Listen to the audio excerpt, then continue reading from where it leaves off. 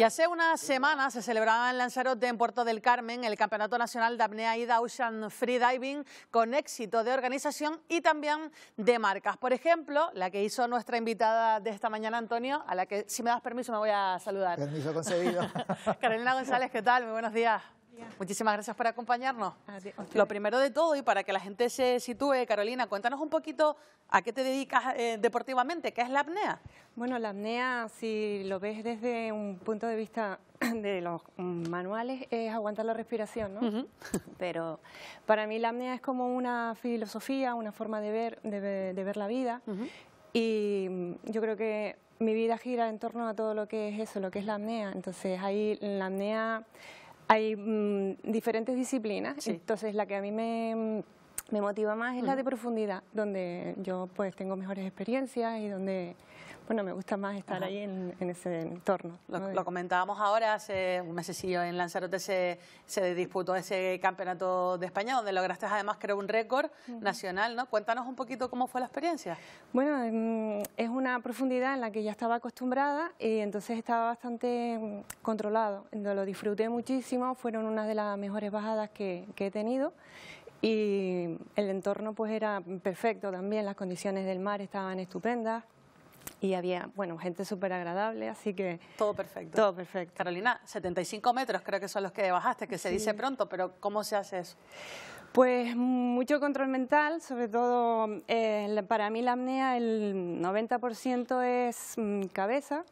Este año hemos tenido la suerte de contar con Neurovitalia, que nos ha ayudado muchísimo a lo que es gestionar los miedos. Entonces tienes que tener una preparación tanto mental, física y bueno, tener condiciones pues para y sobre todo tiempo para poder eh, prepararlo.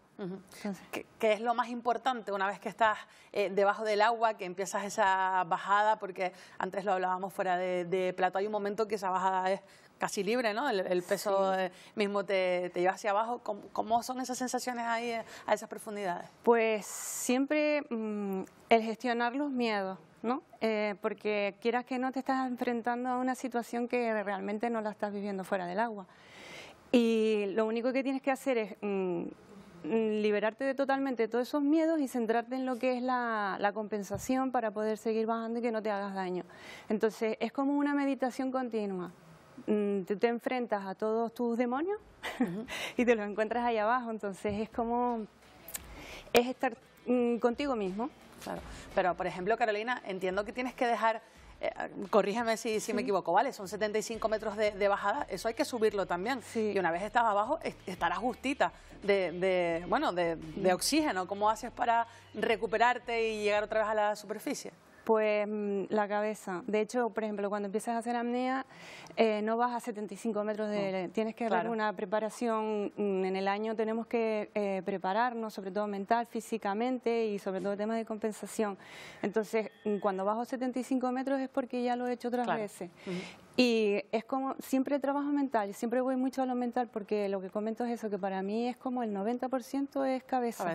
Entonces, cuando estás abajo, Mm, ya estás preparado de que tienes que salir, no te queda otra. Y entonces es como si enfocaras toda tu concentración en procesos mentales que te lleven a hablar positivo, todo está bien, me encuentro bien, voy a salir bien. Entonces siempre eso es lo que te empuja a, llegar a la mm. superficie, a hacer un buen protocolo y que te homologuen una marca. que, no entren los nervios, entiendo ahí, ¿no? Eh, estar muy muy con mucha templanza. Eh, ¿Es la, eh, el objetivo máximo que, te propones o intentarás llegar más abajo todavía? La semana que viene tengo un campeonato que también es a nivel nacional y voy a intentar bajar más profundidad. O sea que seguiré intentando batir mis récords. Y bueno, esto... Eh, ¿Has tenido algún susto debajo del agua en, el mar? Pues porque esa compensación de la que hablas, esos miedos, o el cuerpo que no está siempre igual, ¿te da algún, aviso? ¿Has tenido algún sustillo? Sí, he tenido dos roturas de tímpano, pero bueno, eso siempre se recupera. He tenido blackouts también, que son es normal, pero son cosas que se van... ¿Blackouts que es, perdona, para la gente? Es una desconexión total. Es cuando, por ejemplo, tus niveles de oxígeno bajan demasiado y entonces el cuerpo entra en un estado en el que se desconecta. Pero si tú tienes a una persona que te, mm, que te controla y que te, te, ayuda, que siempre, por ejemplo, en la apnea nunca puedes hacerlo solo, pues entonces son cosas que se recuperan súper fácil. Entonces, eso es pero después cuando te das cuenta de lo que ha sido, es como que dices, ¿y esto es un blackout? Eso es, esto es un blackout. Entonces no, no te asusta, no te llega a asustar tanto, sino que, y sigues mejorando, pues normalmente siempre sobre todo por la parte mental, ¿no? El tema de que hay veces que tu cabeza no está igual y entonces, bueno, pues te juega malas pasadas. Y entonces a lo mejor, bueno, pues... Bueno. Pues muy interesante, Carolina González, todo lo que nos has contado respecto a este deporte.